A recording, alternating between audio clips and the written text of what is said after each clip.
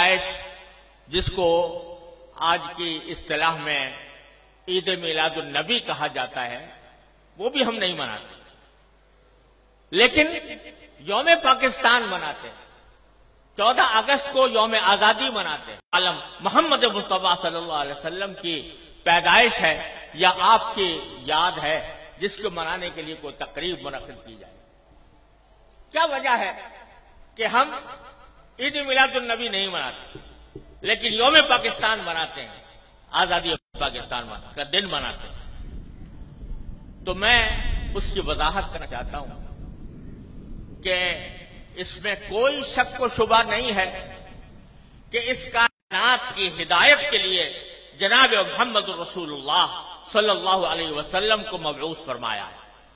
اس سے زیادہ عظیم دن انسانی تاریخ میں کوئی اور نہیں۔ جس میں آپ تشریف لائے۔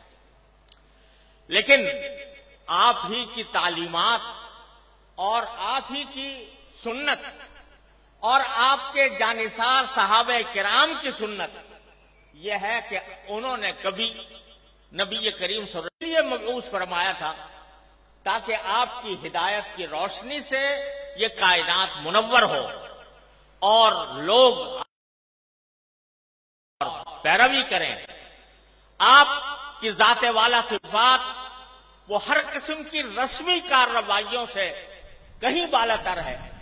اور حضرات صحابہ کرام جو آپ کی زندگی کے ایک سانس کے بدلے اپنے اس کا، اس سے اعتراض کیا ہو اور اس کے بجائے ساری زندگی اتباع سنت کی کوشش کی ہو، اس کو اگر ہم منانا شروع کریں تو دین کے اندر ایک اضافہ ہوگا۔ دین کے احکام میں ایک اضافہ ہوگا اور دین کے کام میں کوئی اضافہ۔ مذہبی تقریب کے طور پر منائی جاتی ہے۔ مذہبی عید کے طور پر، عید کا نام اس کا رکھا گیا ہے۔ اور وہ مذہبی تقریب ہے۔ اور مذہبی تقریب اگر کوئی شخص مذہب کا حصہ سمجھ کر وہ بنائے گا تو دین میں ایک اضافہ ہوگا جس کا نام بدانا اس لیے ہمارے اکابر علماء کرام نے اس بنانے کا اہتمام نہیں کیا۔ نہیں ہے۔ یہ دینی تقریب نہیں ہے، بلکہ یہ ملکی تقریب ہے۔ اور ملک کی آزادی کے طور پر، اس کے ایک نشان کے طور پر اس کو منایا جاتا ہے۔ کوئی شخص بھی جو اس کو منانے والا ہے وہ اس کو دین کا حصہ سمجھ کر نہیں بناتا، اس کو مذہب کا جز سمجھ کر نہیں بناتا۔ بلکہ ایک ملکی تقریب ہے، ایک ملک کے اللہ تبارک و تعالیٰ نے ایک ملک ہم کے طور پر بناتے ہیں۔ بدعت اس وقت بنتی ہے کوئی چیز جو شریعت میں نہ ہو اور شریعت کا حصہ اس کو بنا دیا جائے۔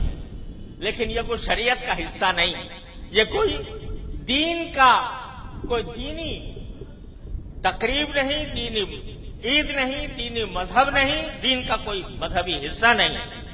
لہذا یہ ایک ملکی تقریب ہے۔ اور یہ ایسا ہے جیسے کہ تو یہ کوئی مذہب کی تقریب نہیں ہے، کوئی دین کی تقریب نہیں ہے۔ اسی طریقے سے ہم یوم آزادی پاکستان کا اس لیے مناتے ہیں کہ اللہ تبارک و تعالیٰ نے اپنے فضل و کرم سے یہ نعمت ہمیں عطا فرمائی تھی اور ملکی تقریب کے طور پر اس کو منایا جاتا ہے۔ دوسری بات یہ ہے کہ چونکہ یہ ملکی تقریب ہے، لہذا اس کے کسی حکومت سے، کسی سیاست سے آئے بدین حکمران بھی آئے، اور ایسے حکمران بھی آئے جن سے ہمیں اختلاف رہا۔ لیکن سیاسی حالات کی وجہ سے یا کسی ناپسند حکمران کی وجہ سے یوم آزادی کو یہ کہنا درست نہیں ہے کہ چونکہ حکمران ہماری مرضی کا نہیں ہے، لہذا ہم یوم آزادی نہیں منائیں گے۔ بلکہ یہ ایک ملکی تقریب ہمارے اکابر نے قربانیاں دی ہیں۔ جس کے لیے بے شمار مسلمانوں نے اپنی خون کا نذرانہ پیش کیا ہے۔ جیسا کہ مولانا نے فرمایا، بڑی درست بات فرمائی کہ ریاست اور چیز ہے، حکومت اور چیز۔ ریاست ہماری ہے۔ اور وہ اللہ تعالیٰ کی نعمت ہے۔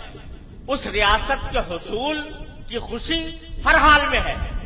چاہے ہمارے حالات کتنے ہی خراب کیوں نہ ہو جائے لہذا عالم اسلام کے لیے اس وقت باوجود کہ مولانا عزیز الرحمان صاحب نے فرمایا کہ پاکستان کا تصور بہت سے لوگوں نے ایسا بنا دیا ہے کہ جیسے ایک معد اللہ ناکام ملک ہو۔ جیسے اس کا جو اصل مقصد زندگی ہے، وہ بالکل پورا نہ ہوا ہو۔